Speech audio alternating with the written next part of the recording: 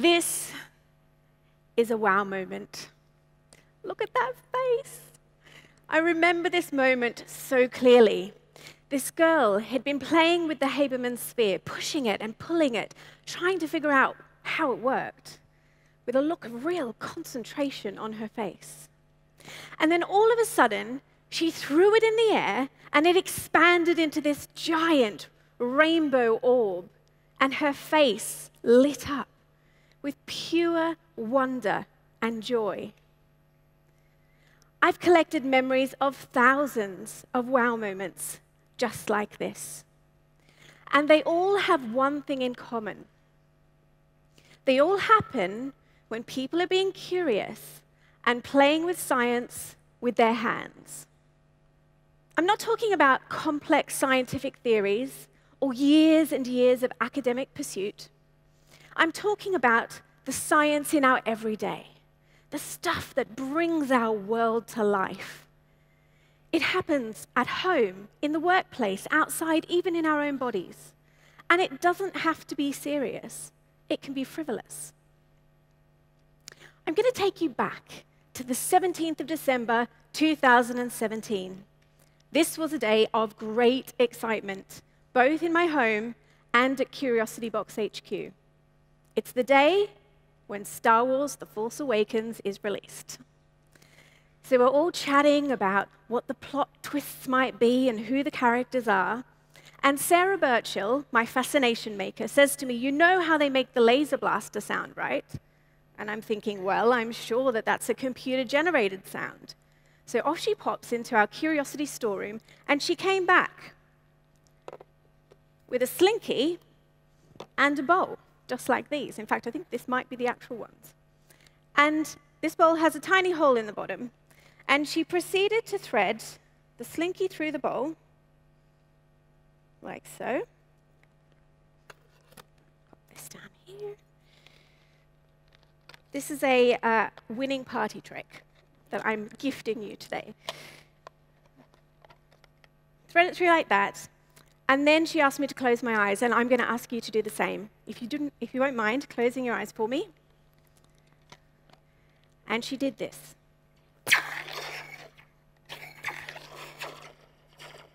You can open your eyes if you haven't already. And this is the genuine way that they created that original iconic sound. And all it took was for somebody to look at the slinky and think, as the sound wave travels through that metal, all we really need is for something to amplify that sound. And what better thing than a simple bowl?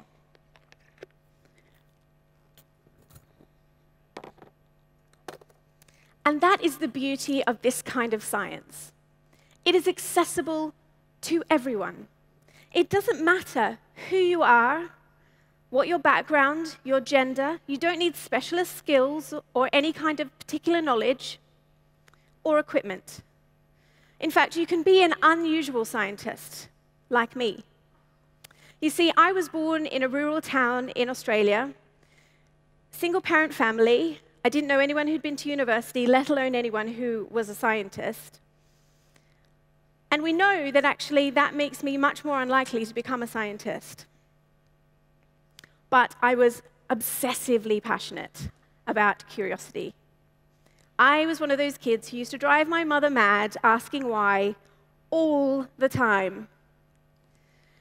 And it is that asking of questions that is the first secret to discovering the science in your everyday and rediscovering your curiosity. Asking questions is an incredibly powerful tool. And I would argue that in, the, in this day and age, when we have access to so much information, asking questions is even more important for us to be able to decipher what's good quality information and what's not. It doesn't also matter what kind of questions you might want to ask. There are things like the other day, my daughter asked me, Mummy, why are my teeth so slimy? And obviously, the short answer is because you haven't brushed your teeth. Uh, but the long answer is far more interesting, and it involves bacteria and how they behave in colonies as biofilms. And that can lead on to discussions about antibiotic resistance and really big, serious problems. And the beauty of our online world is that, like never before, do we have the access to people who might be able to actually answer some of those questions? Asking questions takes bravery, and the older we get, the less we tend to ask questions. We become inhibited about the questions we ask. We don't want people to judge us or to think it's a stupid question. So answering, asking questions is a really important part of curiosity. The other thing that you need to be curious is your inbuilt scientific equipment. This is the stuff that babies and children are brilliant at. All you need to do is look at a young child.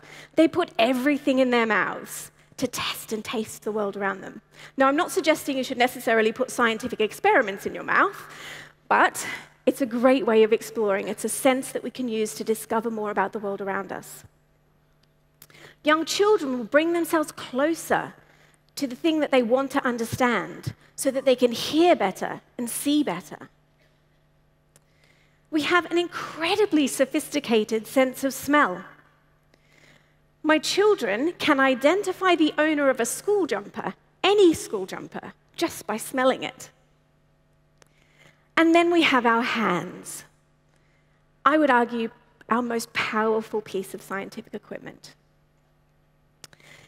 When you were a child, I want you to think back to when you were about seven years old. What was it that you loved to do? Was it mixing things together to try and make a potion? Or perhaps you loved building Lego. Maybe you were the kid who loved to collect beetles outside and look at their shiny wings. Me, I was the child who loved to take things apart, much to my mother's consternation. I have a very vivid memory of taking apart the VCR in our house, which shows my age, but I really wanted to know how that worked.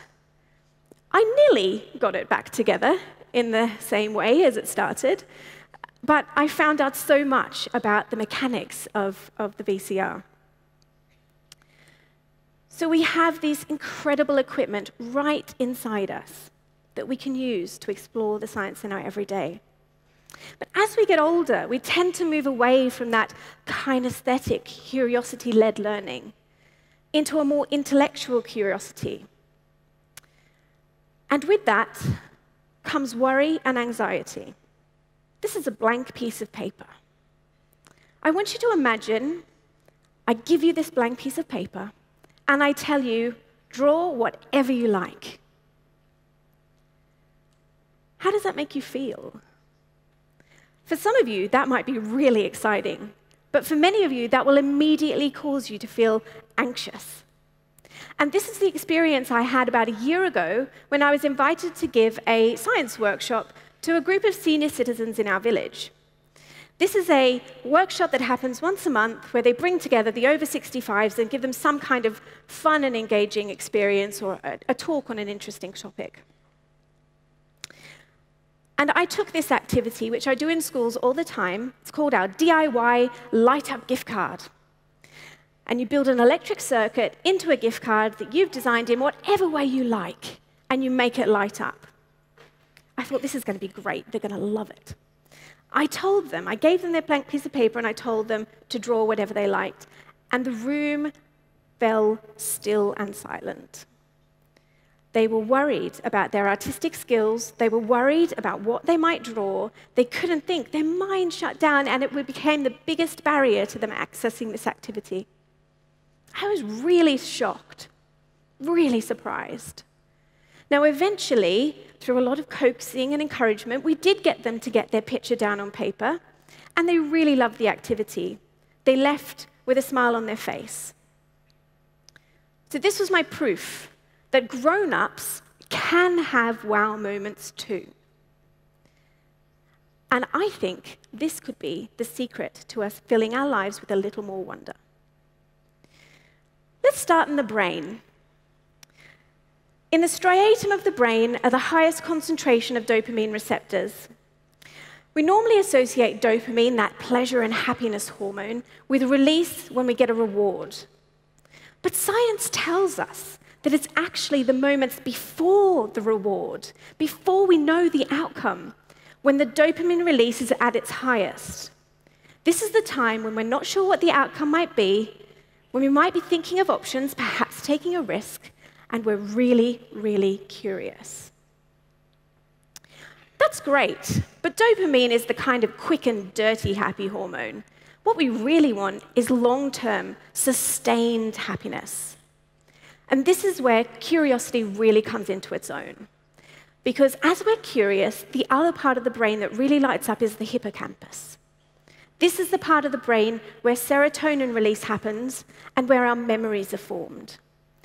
So, curiosity gives us this beautiful positive feedback loop where we get long term positive memories forming about the happy moment that we've just experienced.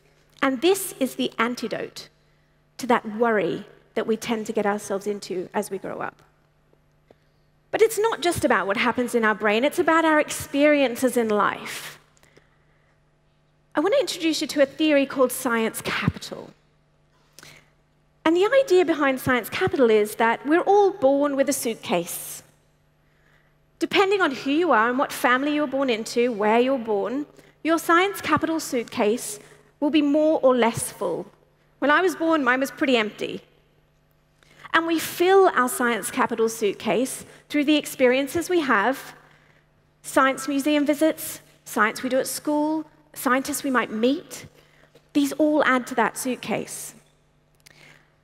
Which is fine, but actually, where we have the most power to fill our own science capital suitcase is through exploring the science in our everyday. And the good news is that the more you fill that suitcase, the better your life prospects are in terms of health, wealth, even morbidity.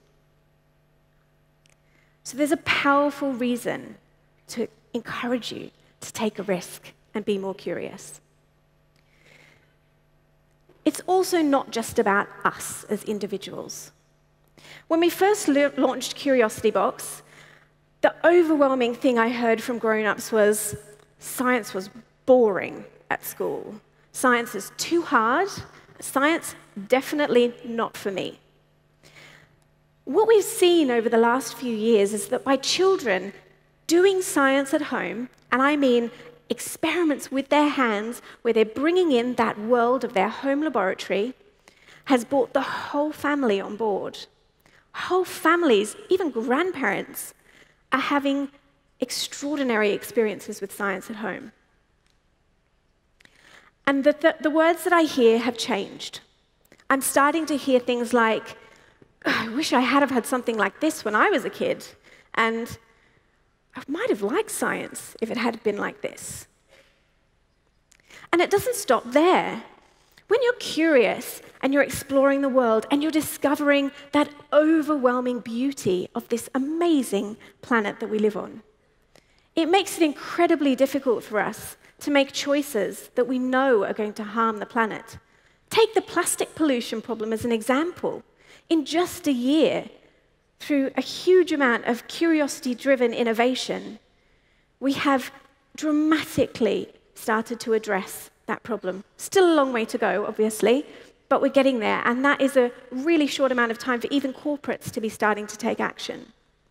So I think that by leading a more curiosity led life, we have the opportunity as a community to make big difference to this planet.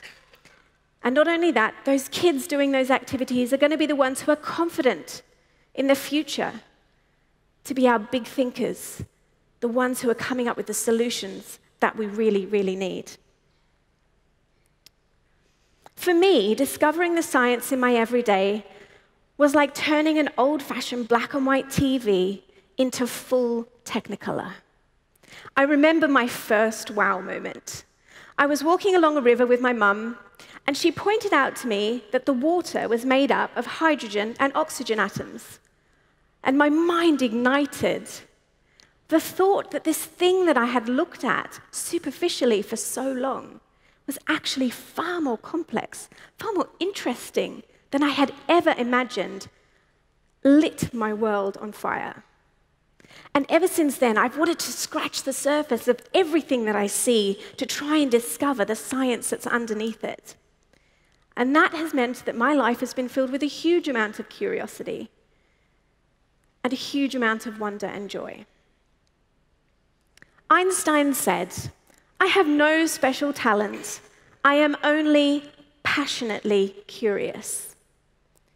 So I ask you, how would it feel if you chose to look at your world through the lens of science just a little bit more? What if you could fill your life with a few more wow moments, maybe once a month, once a week, maybe even once a day? How would that make you feel? How would that change you? And could curiosity be the secret to you living a more wonder filled life? Thank you.